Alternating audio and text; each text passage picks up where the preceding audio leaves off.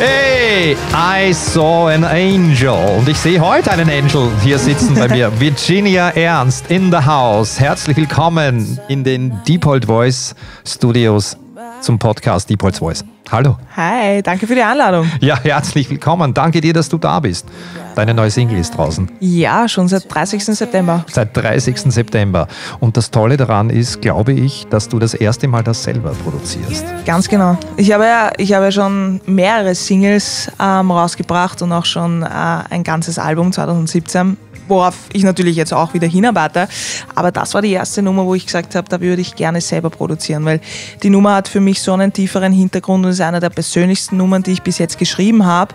Und habe gesagt, das würde ich gerne selber produzieren. Und gemeinsam mit einem Co-Produzenten, mit dem, äh, Dominik Landolt, haben wir gemeinsam. Das ist, ist das Band jemand, der, der äh, in deiner Band auch spielt? Ja, oder? das ist mein Keyboarder. Ah, das, das ist mein Keyboarder. Keyboarder. Das ist natürlich klar, es ist alles in-house bei euch. Ja, gell? genau. Also Meine ganze Band spielt mit. Ja. Also das ist schon eine sehr berührende Nummer für mich, weil sie auch für meine verstorbene Großmutter geschrieben ah, worden okay, ist okay. und deshalb sehr touchy. Und es ist, glaube ich, erst vor zwei Monaten habe ich es geschafft, dass ich nicht weinend auf der Bühne stehe, wenn ich den Song performe. Wow. Ja. Wow, unglaublich. Und das Schöne ist ja, ich habe ja auch die Ehre und das Vergnügen gehabt, dass ich ein bisschen einen ganz, ganz kleinen Teil auch mit beitragen kann dazu auch. Genau. Wir haben das gecoacht. Ja, gemeinsam. Ich habe dich, hab dich durchgecoacht durch den Titel, ähm, um zu schauen, um einfach uh, einen gewissen Input zu geben als Vocal Coach. Wie könnte man es machen? Genau. Ähm, wie, wie ist es auch von, von der emotionellen Seite vor allem? Bei Singern muss man dir nicht beibringen. Ja, also das ist in dir ein Imprint, der drinnen ist. Man kann es immer perfektionieren. Ja, das ist klar, ja. sowieso. Ähm, und, und der Punkt ist ja auch, wenn man mit Künstlern arbeitet, wo so viel aus, aus einem selbst kommt, nämlich ja. von dir, weil du schreibst selbst. Genau. Du textest selbst, ja. dann ist es einfach ein, ein gemeinsames Erarbeiten und wir haben das gemacht, glaube ich, zwei Tage bevor du dann die Final Tracks ja, aufgenommen hast. Genau. Ja. ja. Und hast du das Gefühl gehabt, dass dir das geholfen hat, dass das in irgendeiner Form zusätzlich was bewirkt hat und dass du vielleicht ein bisschen mehr Sicherheit gehabt hast? Auch, definitiv, ja? definitiv. Weil du hast ja, wenn du eben selber schreibst, selber produzierst und selber dein ähm, Chef bist, nicht wirklich ähm, eine Referenz zu dem, was vielleicht besser sein könnte. Ja? Somit war es schon gut, dass ich zu dir, zu jemandem Professionellen gegangen bin, der mir sagt, okay, das klingt vielleicht so besser, mach dir mal Gedanken vielleicht so mhm. oder sing es lieber sanfter, emotionaler, ja, und das war mir einfach auch wichtig bei der Nummer. Da wollte ich, da wollte ich einfach alles sehr schön haben. Ja.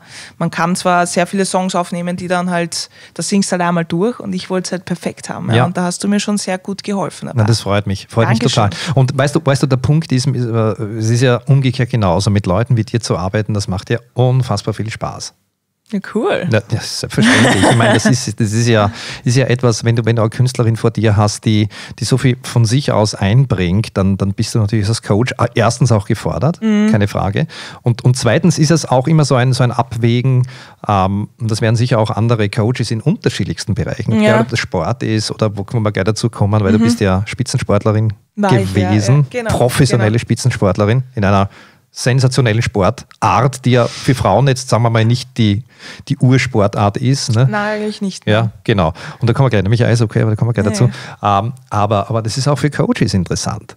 Äh, dieses, diese, diese Dynamik herzustellen, weil ich arbeite mit einer Virginia Ernst anders wie mit jemandem anderen. Mhm, also es ist nie gleich. Also ja. diese, diese Dynamiken sind so spannend und, und sich da abzustimmen und da in so einer kurzen Zeit, relativ kurzen Zeit, eine Arbeitsdynamik zu schaffen, die stimmig ist und die dem Klienten dann auch in irgendeiner Form was bringt, das ist toll. Aber mit dir zu arbeiten ist a breeze. Also für alle diejenigen, die in Zukunft mit dir noch arbeiten werden und das hoffe ich, dass das viele sind, wobei du vieles ja selber machst mittlerweile. Genau. Ja, genau. genau.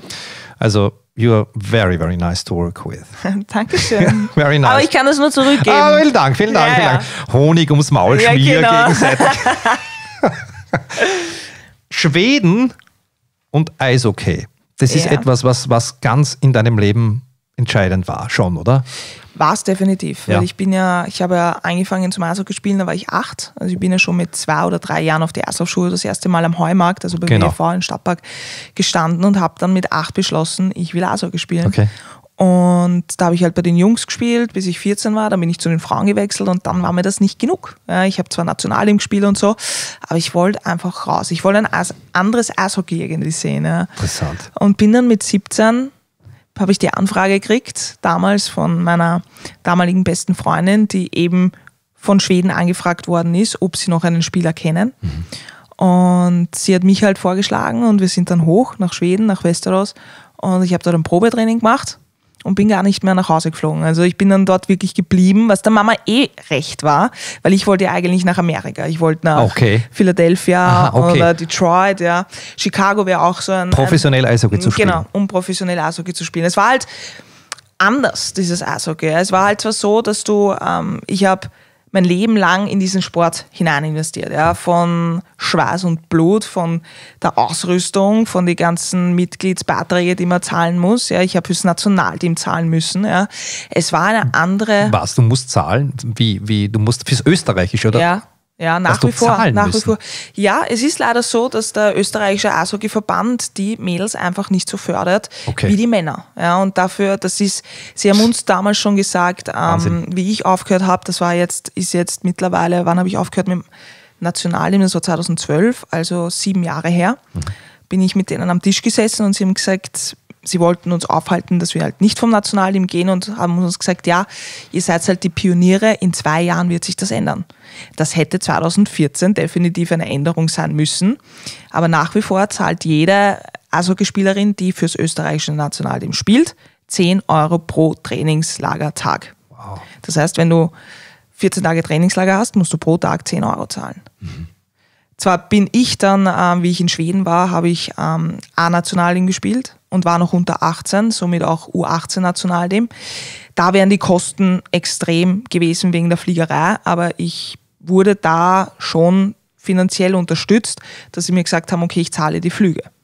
Das war das Einzige. Aber in Schweden zum Beispiel bin ich habe ich in einer Wohnung gelebt, ich bin zur Schule gegangen, sie haben mir Verkostung gezahlt, sie haben mir die Wohnung übernommen, sie haben mir die Ausrüstung gezahlt. Also ich war diesen Standard nicht gewohnt. Mhm. Mhm. Es war immer so, für das Hobby, was du machst, musst du zahlen. Plötzlich kam es anders. Kam es anders. Ja. Bekommst du bezahlt. Bekommst du plötzlich bezahlt, ja. Und nichts anderes ist in der Musik. Ja. ja. Ich war nie davon, äh, dass ich jetzt von Anfang an irgendwie das Geld verdiene, weil Musik ist einer der schwierigsten Businesses, die ich irgendwie kenne. Ja. ja. weil du weißt ja. nicht, wann es passieren wird oder wo es passiert wird, sondern du machst einfach. Ja. Und ist halt ein Hobby, das ich, oder Hobby, das ist mittlerweile meine Leidenschaft und mein Leben geworden. Naja, also ich glaube, das ist dein Beruf ist mittlerweile. Ich meine, wenn man so weit kommt wie natürlich. du, dann, dann es ist Natürlich ist es meine Berufung, aber es ist viel mehr meine Leidenschaft. Ja. Sonst könnte ich die Musik gar nicht weitermachen. Na, ich verstehe ja. schon, aber du, du bist Profimusikerin. Klar. Ja.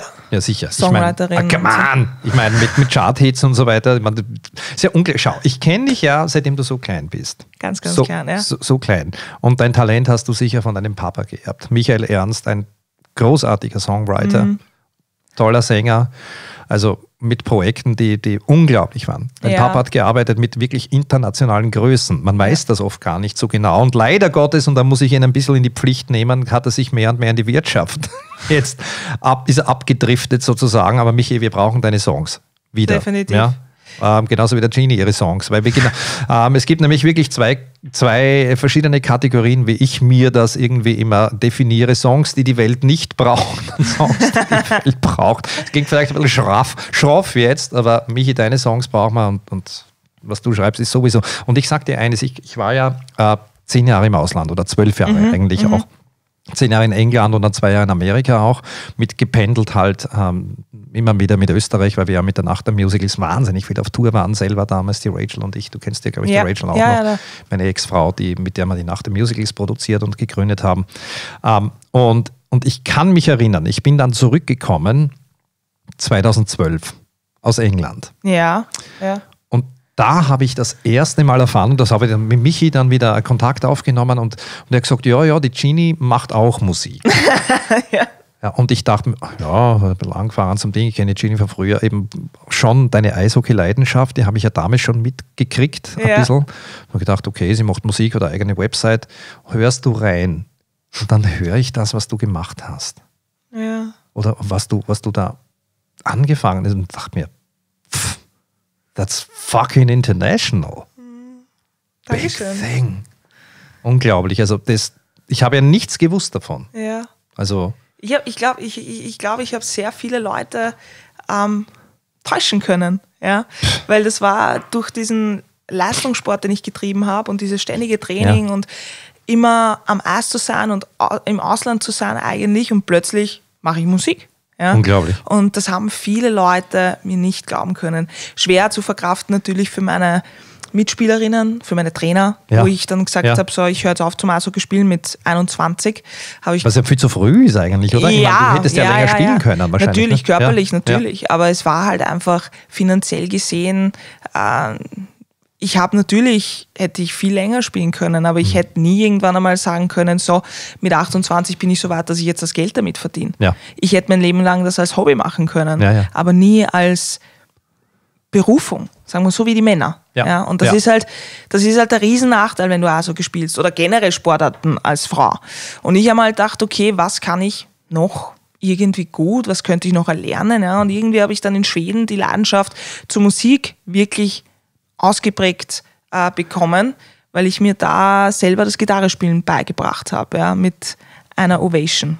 Gitarre das erste Die bauchige Ovation-Gitarre. Genau. Und das nicht mit einem Live-Gesangs, ah, Gitarrenlehrer, Gesangs, Gitarrenlehrer, sondern über YouTube? Ja, je, über YouTube, ja. Da habe ich so einen Lehrer gehabt, der hat mir wöchentlich neue Songs beigebracht und die Akkorde. Ja. Ich, habe, ich habe wirklich die Stahlseiten gehabt. Ich habe gar nicht ja. die Plastikseiten. Ich wollte zum Geburtstag, zum 20. oder 21. Geburtstag, wollte ich unbedingt eine Gitarre. Und mein Onkel hat mir dann seine alte Ovation, die dreifach so alt war wie ich, nach Schweden geschickt. Ja. Wow. Und da bin ich dann gesessen und habe gedacht, okay, ich muss jetzt irgendwie meine Emotionen freilassen, weil im Sport hast du keine Zeit für Emotionen. Da, da pudelst dich ab, stehst auf und fährst weiter. Okay. Ja? Du hast auch nicht diesen ähm, emotionalen Draht zu deinen Mitspielern. Du hast eigentlich diese Freundschaft, diese beste Freundschaft, aber du hast nicht diesen, ähm, wo du dich wirklich auskotzen kannst, wie es dir emotional geht. Und ich war dann plötzlich ganz alleine, weil meine beste Freundin ist damals dann wieder zurück nach Schweden und ich war dann eineinhalb Jahre wirklich ganz alleine in Schweden. Ist das die gewesen, über die du reingekommen bist genau, zuerst? Also genau. sie ist dann sozusagen früher zurück und du bist geblieben. Dann. Ich bin dann alleine geblieben. Ich bin dann, ähm, ich habe auch eine Beziehung umgehabt, die war dann auch äh, viele, viele Stunden weit entfernt, also quasi Fernbeziehung. Und ich war dann ganz alleine dort und ich habe mir dann gedacht, okay, wie kann ich meine Gefühle verarbeiten? Ich kann nicht, ich kann nicht schreiben. Also so Gedichte, ja, das war ich nicht. Ich kann nicht zeichnen, ja. Ich habe immer schon gesungen. Ich bin musikalisch aufgewachsen, habe aber kein Instrument können. Somit war meine einzige Hoffnung, dass ich es mir irgendwie über YouTube lerne wow. und habe mit zwei Akkorden dann mir meinen ersten Song geschrieben. Und dann hat die Mama mich mitgenommen, weil die hat damals noch gemalt zu einer, zu einer Vernissage in England. Deine Mama hat eine Galerie gell, in Wien oder gehabt? Gibt's gehabt hat sie. Okay. Äh, sie gibt es immer wieder, aber ja. jetzt gerade ist sie besetzt, aber sie okay. gibt es immer wieder. Aha. Aber meine Mama ist total äh, mit Farben und Zeichnen, das kann ich ja überhaupt nicht. Ich bin froh, wenn ich einen Strichmaxel zusammenkriege. Okay.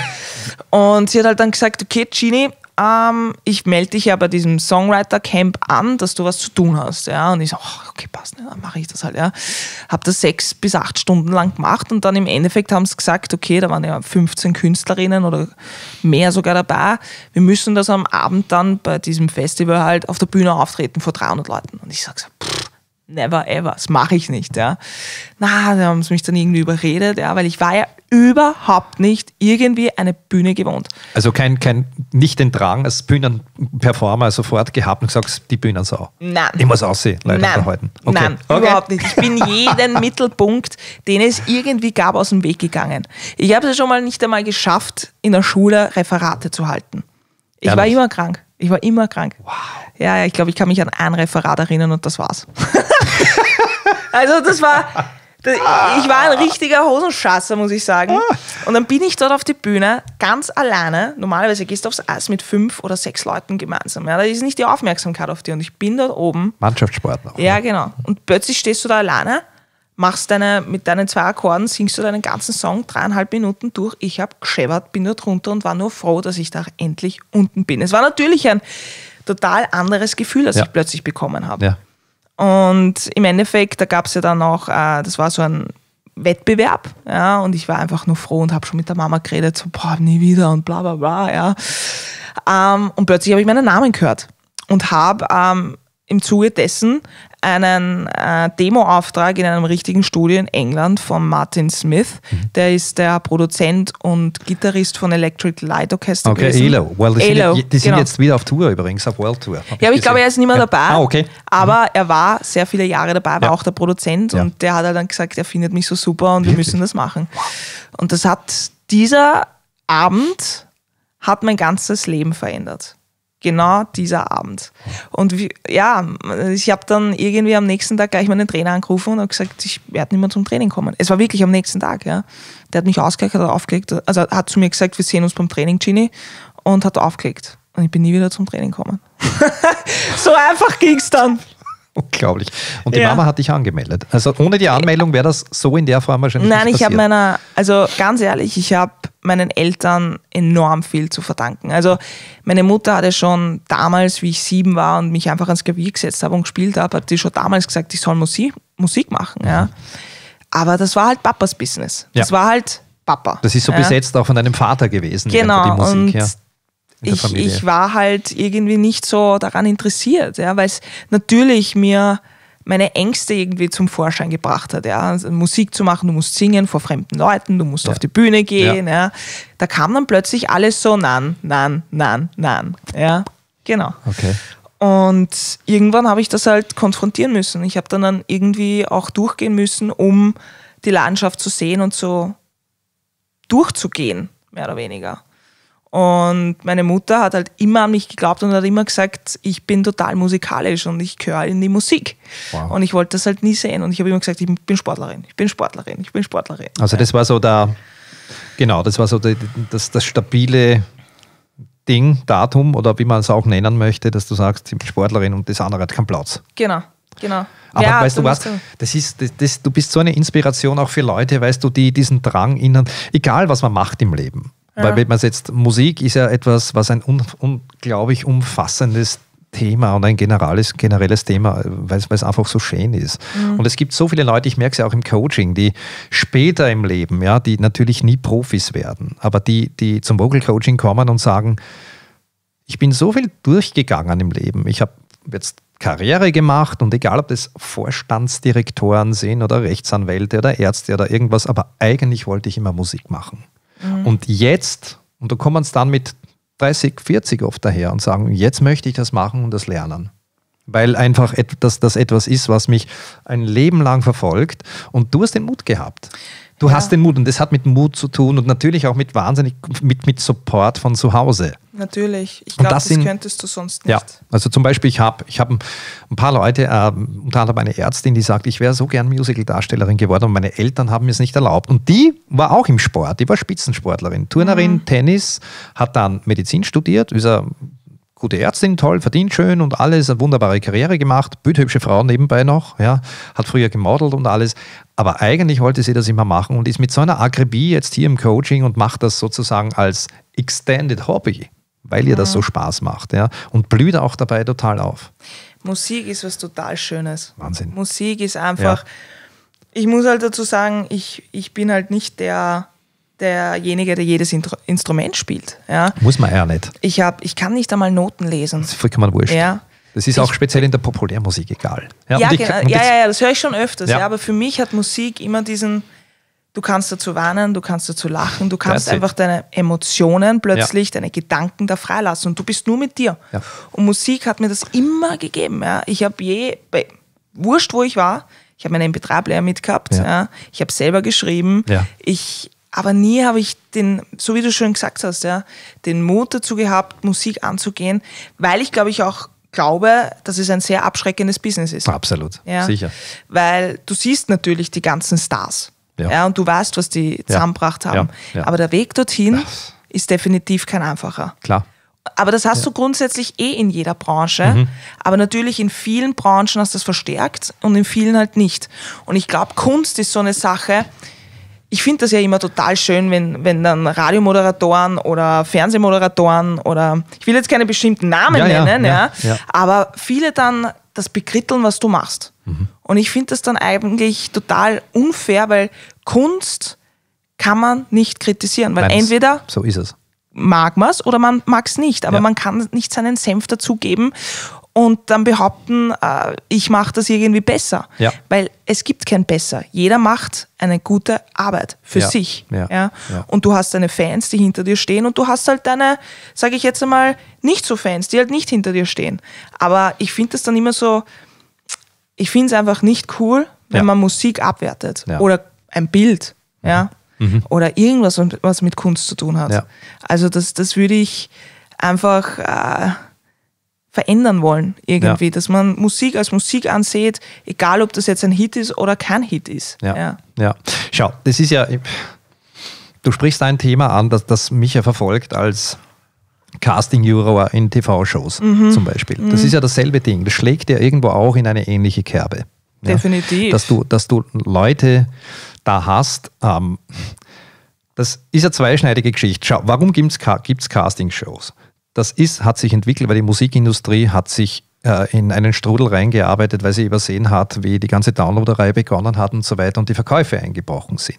So, jetzt ist man hergegangen, zwei Leute, Simon Fuller und Simon Cowell heißen die, der hat, und Simon Fuller war der Produzent der Spice Girls damals und der Simon Cowell ist ja derjenige, der sozusagen der über Dieter Bohlen ist in all diesen Shows in England, ich weiß nicht, ob, ob der Name was sagt. Sagen was, ja, X-Factor ist das und Ah, ein ja, Pop-Idol, ja, der Typ, schon, was der, ja. der, der, der dunkelhaarige Typ, Ja. Cowell, der also alle niedermacht und so weiter und so fort. Und das, das ist natürlich auch das Problem bei solchen Shows. Ja, und da schlägt das schon auch in diese Kerbe, weil, weil ich habe schon auch in Starmania gemerkt, damals als Co ähm, nicht, weil ich bin ja nicht nur in der Jury gesessen, sondern habe die gesamten Coachings gemacht, auch in der ganzen Serie dann von, von Anfang bis zum Schluss, was da hinter der Kamera passiert ist und was psychologisch mit den Leuten abläuft. Ja, und es hat ja auch Leute gegeben, die teilweise wirklich psychologische Probleme gekriegt haben und in der geschlossenen waren. Ja, sicher, kann ich mir Ja. gut vorstellen. Weil, weil, schau, was machst du denn? Du machst, du gehst her und, und nimmst einen 15, 16, 17-Jährigen oder eine 15, 16, 17-Jährige, ja, die, die kommt aus dem ganz normalen Leben, die erleben einen Hype sondergleichen. Plötzlich sind Reality-Stars für eine kurze Zeit und dann lässt das mehr oder weniger fallen wieder. Mhm. Und was kann das machen? Was macht das mit, einem, mit einer Seele, mit einem Ja, Künstler?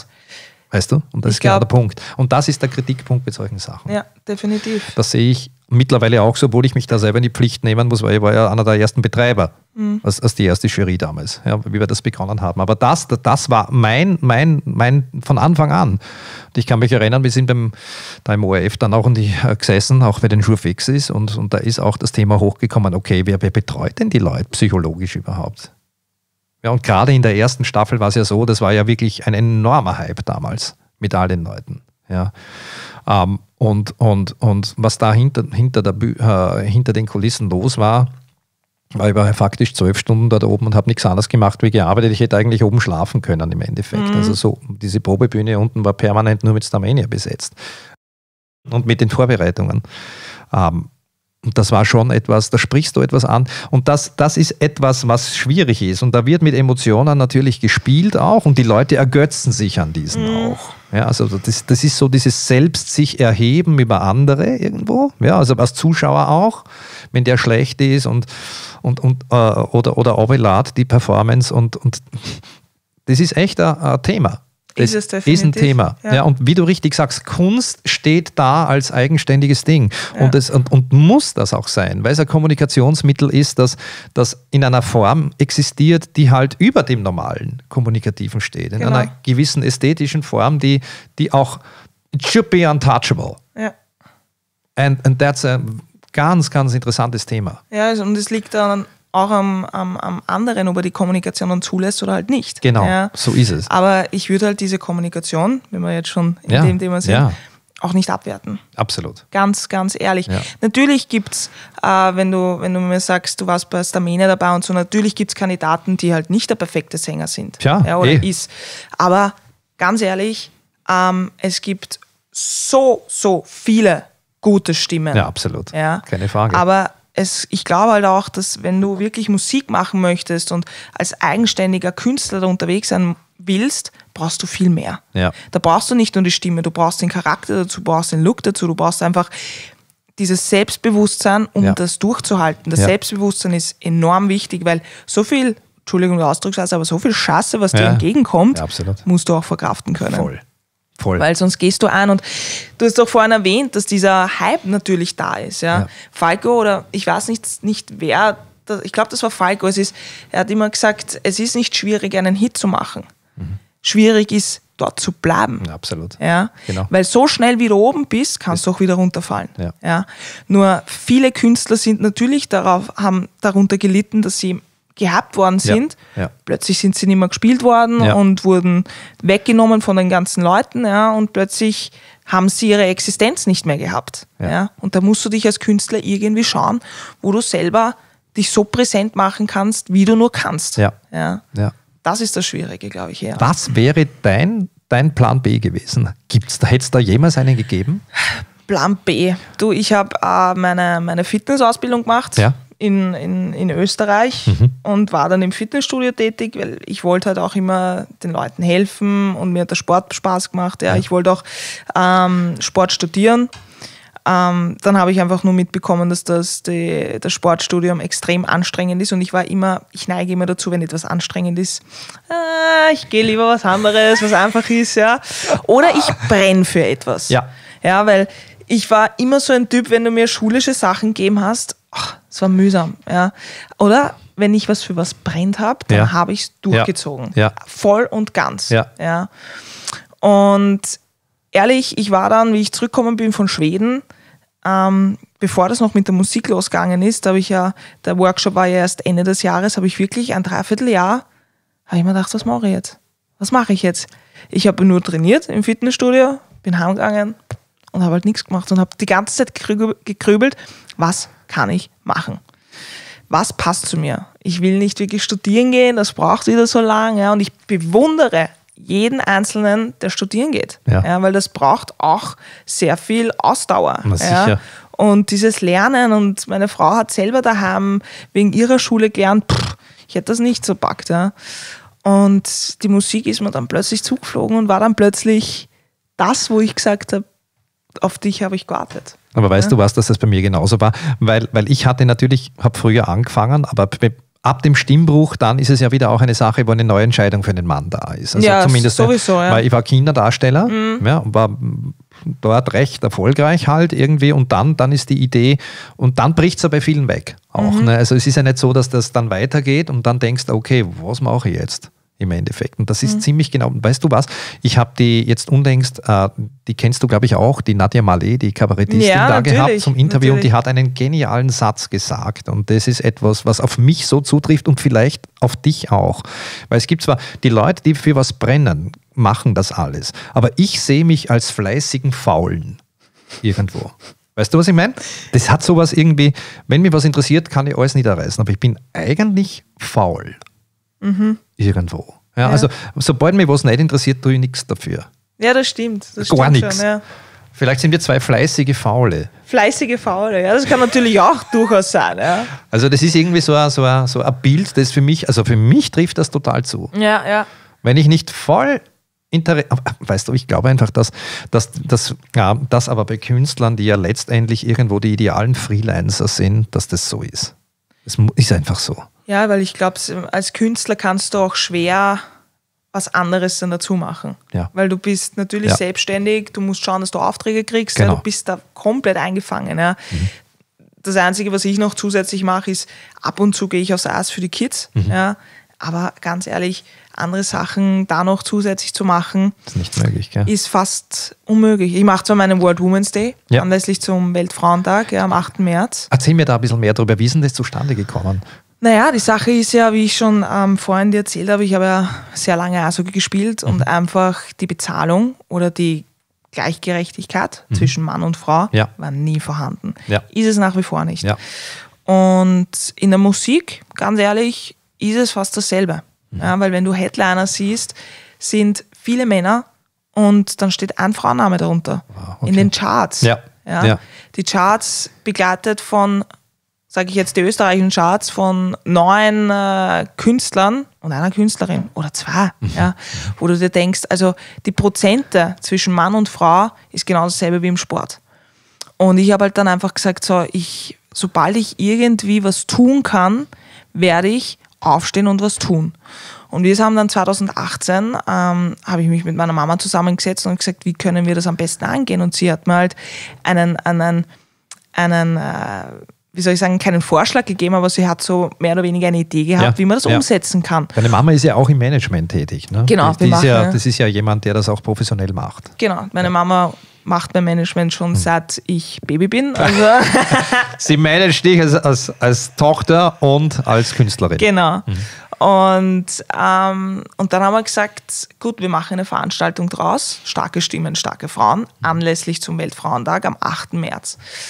Und das erste Jahr, wie wir das gemacht haben, da haben wir Radio Wien, haben wir nach wie vor als Kooperationspartner. Super. Wir waren im Novomatic-Forum und ich habe 15 Künstlerinnen eingeladen Mhm. unter dem Hashtag We Are starke Stimmen, starke Frauen. Ich habe keine Erwartungen gehabt. Okay. Ganz ehrlich, ich habe nur gesagt, ich will diese Message raus. Ja. Die waren alle von der Idee begeistert, dass ich da, meine Band hat gespielt, Super. also begleitet, die Künstlerinnen und jeder hat halt einen Song performt und hat quasi Zeit gehabt, sich für dieses Projekt einzustehen. Ja. Und das hat so souverän funktioniert. Die Halle war voll. Ja. Und ich war so begeistert und bin nach wie vor so aus dem Häuschen, dass das alles so geklappt hat, dass wir gesagt haben, okay, wir werden das jetzt jährlich machen, weil es ist nach einem Mal nicht weg. Das Beste wäre natürlich, wenn dieser World Women's Day gar nicht mehr existieren würde, weil dann wäre es equal. Dann, dann ist es nicht mehr notwendig, da in irgendeiner Form was zu machen. Genau. Verstehe ich schon. Dass das Endziel ist, denn, dass man solche Veranstaltungen gar nicht mehr machen muss, weil die Awareness von vornherein da ist. Genau. Also ich hole quasi alle Künstlerinnen auf die Bühne an einem Tag, dass äh, die ganzen Konzerte, die sie im Vorjahr gespielt hat, ausgleicht. Ja, weil so viele männliche Headliner, wie es gibt. Ja, natürlich äh, die Musik und der Sport ist wahrscheinlich von den Prozentsätzen Sätzen von, von Männern einfach höher. Ja, aber die Frauen, die sind einfach die kämpfen. Sie lassen, lassen sich nicht unterkriegen. Ja? Ja. Ich kenne es von mir selber. Ja? Ich will aufstehen und sagen, wir brauchen eine Veränderung.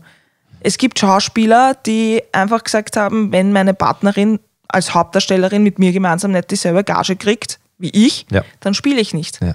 Und das finde ich cool. Ja, absolut, ja. Und genau das brauchen wir. Wenn es einen Headliner gibt, dann muss eine Frau auch als Headliner kommen. Ja. Auf derselben Bühne. Ja, oder ausgeglichener. Aber man kann halt nicht fünf Herren-Songs im Radio spielen, dann kommt eine Frau und dann kommen wieder zehn Männer. Du hörst, wenn man darauf achtet, eher weniger Frauen hintereinander Ja. als Männer. Und das ist einfach so, warum? Ja, und Ja, deshalb klar. haben wir gesagt, wir wollen Veränderung und wir wollen da nicht nur Künstlerinnen, also in der Musik auf die Bühne holen, sondern wir haben auch Comedian mit dabei, wir haben Poetry Slam dabei, wir haben eine ähm, Buchautorin mit dabei, ja. Also in jeder Branche, man Wow. kann das in jeder Branche irgendwie preisgeben. Man kann überall sagen, ich will diese Equal Rights auch haben. Wie viele Künstlerinnen treten da auf an einem Abend? Also wir sind jetzt das erste Jahr waren es 14. Wer ist Das- denn da dabei gewesen? Wir waren das erste Jahr war mit dabei. Sollen wir das irgendwo googeln? Schauen wir mal, World Women's Day, finde ich das im Also ich Internet weiß, irgendwo? die, natürlich, auf Ja. der Website sieht man es. Ähm, weiß aber jetzt wie- nicht ganz genau. worldwomansday.com. Also 2018 war auf jeden Fall die Monika Ballwein, die Birgit Denk, Mhm. die Zoe, die Ina Regen war mit dabei. Boah, jetzt fehlen mir noch zehn. es waren definitiv viele Künstlerinnen. Ja, ja, ja. klar. Ja, kann man halt alle, alle jetzt aus dem Kopf. World, World Women's Day oder Women's Day? Women's, World Women's. Aha, da ist irgendwie jetzt momentan die. Mit E, glaube ich. Woman. Ah, okay, dann ist es Mehrzahl, genau. World Women's Day. Dort kann man schauen wir das einmal an. Ah, there we go. Ach, da bist du ja schon. Okay, there you go. Künstlerinnen. Stella Jones. Ja, genau, das war von letzten Jahr, die Simone, Simone Koppmeier. Koppmeier, Sabrine Oehler, Monika Ballwein, Mel Merio, Merio, Mario, ja. Merio, Mina Crowell. Wow. Weil Giselle Jackson, Etta Scolo, mein Gott, na, die Etta Scolo. Mhm. Auch eine Künstlerin, die schon so lange sich bewährt. Unglaublich. Eine ganz, eine ganz liebe Person. Die Ma- Meierin war auch super, ja. Kernöl-Amazonen, Kabarett, Birgit Denk. Das ist doch toll, was du da aufziehst. Hey, Es müsste eigentlich einen World Women's Roundtable geben. Können wir gerne anfügen. Ha? Das wäre mal, aber ich bin ja am Mann, ich darf ja da nicht dabei sein jetzt, oder? Da.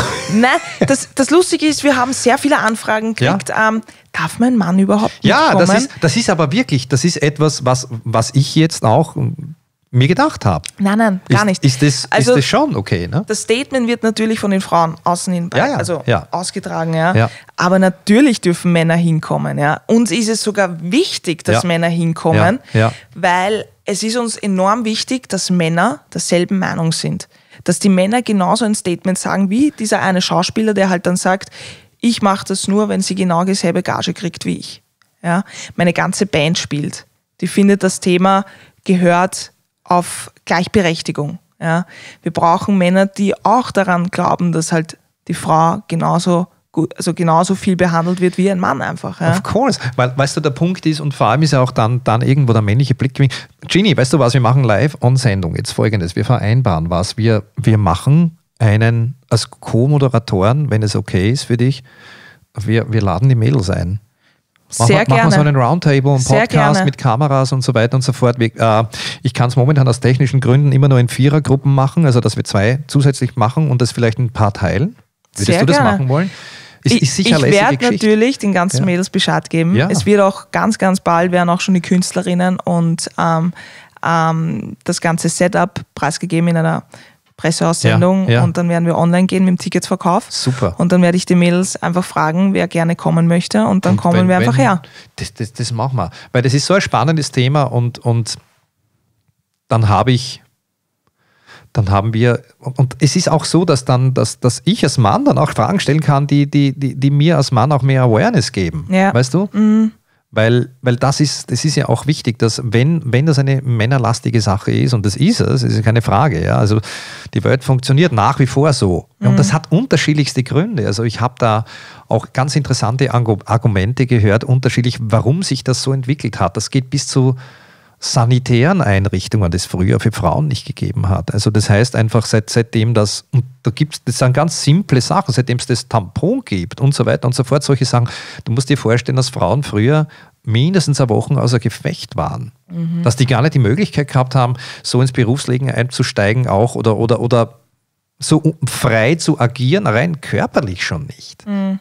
Wie Männer, weil sie, weil sie durch ihre Tage total gehandicapt waren früher. Mhm. Ja, durch, durch, durch, durch solche simplen Sachen hat sich das interessanterweise auch irgendwie mitentwickelt, dass da eine gewisse Ungleichheit entsteht. Aber weil du sagst Schweden früher, dort oben und durch das Eishockey dort oben ist ja diese Equal Rights Sache sehr, sehr, äh, sehr, sehr, sehr, sehr stark, groß, ja. sehr, sehr groß gegeben. Also ja. Schweden war ein Land voller Toleranz und Akzeptanz vor ja, allem. Da gab es keine Unterschiede. Mhm. Weder von der Sexualität her, sage ich jetzt einmal, oder von den ähm, zwischen Frauen und Männern. Mhm. Da war, also wir, wir könnten uns definitiv eine Scheibe abschneiden. Ja, die sind auch immer ja. einer der Vorreiter, die halt zeigen wollen in Europa, wie es gehört. Mhm. Ja, und mhm. das finde ich ganz, ganz stark von Schweden. Es ist ein total offenes Land, total glückliches Land. Es ja. schaut so aus, weil das sind alles recht lässige Leute da oben. Sind und total kommunikativ und sehr, ja. sehr, und sehr, sehr zugänglich auch. Gell? Ja, sind sie definitiv. Also ich hatte die große Ehre, drei Jahre dort zu leben und es war, ich glaube, wäre ich nicht dorthin gegangen, wäre ich gar nicht dieser Mensch geworden, der ich jetzt bin. Das kann schon sein. Ja. Ja. Also dieses, die ah, machen, wenn es ein Problem gibt, die suchen nach Lösungen. Ja. Ja, und nicht, da gibt es ein Problem, okay, lassen wir es ein Problem sein. Ja, oder, oder machen wir noch ein größeres, wie es leider genau. in Wien oft so ist. Und in, in kann mich, der, der, der Wiener, na, das geht aber nicht. Ne? So dieses Wiener, äh, abblocken, bevor man irgendwie, das ist schon da. Und ich habe das, in England ist es ja auch ein bisschen anders. Ja? Also ich habe das ja dadurch, dass ich in England und Amerika, wo ja auch, ob, man Amerika hat andere Probleme wieder, aber zumindest eine Idee ist eine Idee. You know? mhm. Und du hast dort das Gefühl, ja, go for it, you know? ja. do it. England auch. Und jedes Mal, wie ich nach Österreich zurückgekommen bin, wobei ich jetzt nicht über Österreich schimpfe, ganz im Gegenteil. Ich liebe Österreich und ich, ich würde nie mehr ins Ausland wollen, im Endeffekt. Aber ich habe schon gemerkt, dass von der Kommunikationsfreudigkeit äh, ähm, vom, allein schon in der U-Bahn in London, das war noch Pre-Handy-Zeit. Wie es jetzt ist, weiß ich nicht. Okay, Pre-Handy. ja, also Pre, ja. was weiß ich, uh, WhatsApp und so weiter und Textzeit dass wenn ich, wenn ich von London zurückgekommen bin nach Wien, also die ist mir echt irgendwie das Gesicht eingeschlafen, wenn die Leute dort in der U-Bahn gesessen sind. Also in London, da war echt die Leute am Gerät und es war laut irgendwie und da, da, da, da, und so. Aber, aber das ist schon, ist schon, schon was anderes. Ja. Ich verstehe schon. Also das heißt, das heißt, natürlich prägt so eine, eine, ein Auslandsaufenthalt in einem anderen Land, das hat mich als Mensch auch geprägt, Ja. total. Hat mein Ich glaube, man braucht auch die, die Erfahrung irgendwo. Also wenn man ein Mensch ist, der, mal, der, der gerne ins Ausland gehen wollen würde, Ja, soll, rate ich dazu, es zu tun. ja, Weil du lernst plötzlich was anderes kennen. Es gibt natürlich auch Leute, die sagen, nein, ich gehe nicht aus meinem Land raus. Ja, auch verständlich. Absolut, okay, ja. Aber ich finde halt, wenn man schon die Möglichkeit hat, sollte man schon sehen, weil du schätzt dann auch natürlich sehr dein Land, aber du lernst andere Sitten Ja. auch kennen. Ja. Und über das lernst du, und das war so was bei mir, über das habe ich Österreich wirklich schätzen gelernt auch wieder. Ist es. Über alles, da ist ein wunderschönes Land und alle diese Dinge. Jetzt gibt es die neue Single von dir. Nochmal Genau. zurück zur Musik. I Saw an Angel. Ja. Hast du vor, jetzt als Produzentin selbst weiterzuarbeiten? Also das heißt, ist das jetzt dein Weg, den du für die Zukunft für dich gefunden hast im Moment? Ähm, ich, äh, wie soll ich sagen, natürlich. Also ich will schon weiterhin selber produzieren, weil ich da einfach weiß, okay, wie ich es machen möchte. Oder ich wür würde gerne sehr viel ähm, mitproduzieren Ja. oder Mitspracherecht haben Ja. bei meinen. Songs. Ja. Ähm, aber hauptsächlich mache ich natürlich Singer-Songwriter. Also ich Mhm. schreibe meine Songs und performe meine Songs und will einfach ein eigenständiger Künstler bleiben. Und jetzt bin ich eher am Arbeiten an der nächsten Single und am nächsten Album. Gibt es da schon einen Titel davon? Oder davon wissen wir, ist das, schon, ist das noch zu vor oder gibt es schon was? Es, also wenn es jetzt wirklich, äh, wenn alle Stricke nicht reißen sollten, sagen wir so, ja, wird die nächste so äh, Single und da werden sich meine Konzertfans wirklich sehr freuen, Ja. weil die nächste Nummer wird Right Gay. Ja. Hey! Genau, eine sehr bluesige Nummer. Super. Und ich weiß auch schon, wie ich sie produzieren werde. Ja. Dass sie eben, weil die war immer so eine Live-Nummer, Ja. die die Leute, die Leute sind danach hergekommen und gesagt, boah, wo kann ich diese Nummer schon kaufen und Ja, hin ja, und her. ja. Sag ich, leider gibt es halt nur live. Ja. Aber Okay. ich habe jetzt auch, nach dem letzten Konzert sind mir wirklich, weiß nicht was, 15 Leute entgegengekommen und gesagt, die Nummer, das ist der Hit. Ja. Super. Und ich habe mir nur gedacht, das ist die, die, die, die einzige Nummer, die, ähm, die habe ich schon vor vielen Jahren geschrieben, sehr bluesig, wo ich mich total zu Hause fühle. Es ist arg. Okay. Es ist wirklich arg. Okay. Ja. Bin gespannt. Ich gehe total auf bei dieser Nummer, die kann ich in- und auswendig. Wenn Ja. ein Fehler passiert, wurscht. Ja, Wahnsinn. das ist, Ja. mache ich einfach drüber Ja. und die sitzt aber trotzdem. Ja. Super. Auf die freue ich mich extrem. Super. Schreibst du für andere auch? Ähm, mit anderen. Okay. Ja. Okay. Also es hat sich jetzt noch nicht so ergeben, dass ich jetzt einen Song schreibe und den jetzt äh, jemanden anderen gebe, aber ich tue schon mitschreiben, natürlich. Mhm. Aber ich glaube, da, da bin ich viel mehr bei mir noch. Okay. Dass ich viele Songs fürs Album zusammenkriege, viele Songs im Repertoire habe, die ich Ja. auch live performen kann. Ja. Also das würde ich auch gerne machen. Ist das Also- etwas, ich wollte gerade fragen, ist das etwas, was du in der Zukunft dir vorstellen kannst, dass du, dass du deliverst für andere auch? Weil du, ich habe das Gefühl, dein, du hast so eine unglaubliche, du bist so ein echter Songschreiber. Äh, ist das etwas, wie lange dauert das bei dir? Das ist komplett unterschiedlich. Ja, ist es es ist auch, gell? wirklich, das kann Ja. ich nicht sagen. Ich habe jetzt nicht meine Arbeitszeiten, wo ich sage, ich sitze jetzt von 12 bis 17 Uhr nur Okay. am Song schreiben, sondern Okay. wenn es mich überkommt, dann überkommt es mich. Und wann ist es? Gibt es da spezielle Zeit? Bei mir ist es immer so um ganz in der Früh gewesen. Ja, bei mir Witzig. auch. Ganz in der Ah. Früh. Das ist so beim Kaffee. Scheiße, aber da musst du es gleich aufnehmen, Ja. weil ich, ich habe es immer vergessen dann Voll. teilweise. Ist das, geht es dir auch so, ja, manchmal? ja, ich wach auf ab und zu Ja. mit einer Melodie und denke mir, boah, die muss ich gleich ansingen, wenn ich Super. aufwache und dann habe ich es eh schon wieder vergessen. Aber in, in den meisten Fällen ist es so, ich brauche ja meinen Kaffee in der Früh, dann Ja. nehme ich meinen Kaffee. Ich auch, Dieter. Und einen Und guten nämlich. einen guten Kaffee, Wenn es ja. keinen guten Kaffee gibt, forget it. Dann, dann gibt es keinen guten Song. Ja, genau. Und dann sitze ich bei der Gitarre und dann noch total verschlafen so, äh, und habe schon, weißt du, das Urkonzert in meinem Kopf. Ja. Aber da schreibe ich am besten. Da kommen die besten Emotionen und ich habe keine Ahnung, warum. Ich glaube glaub einfach, weil, weil das, der Mind leer ist noch. Ja, das Weißt kann du, durchaus irgendwie, sein, ja. da, da, da ist irgendwie Space für, für, für Dinge, die für kreative Sachen. das kann durchaus Ja. sein. Ja, Ich habe es ich hab's einfach so genommen, wie es ist und Ja, ja. dann einfach geschrieben. Ja. ja super. Aber so sind die ganzen Songs entstanden. Wow. Also jeden Song, den ihr da hört, Ja. ist eigentlich in der Früh entstanden. In der Früh. beim Also, Morgenkaffee. Bei Virginia, Ernst, Virginia Ernst schreibt in der Früh beim Morgenkaffee. Kaffeesponsor. Müssen wir gleich.